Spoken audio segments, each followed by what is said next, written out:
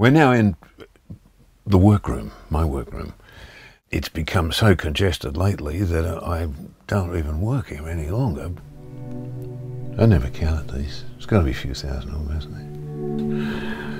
There's, there's about a hundred in the two columns there. There's columns behind them, so that's another couple of hundred. Add these to it, that's 300. Those down there, four, five. Double that behind there, 600 to 650. There's 10 in each of these.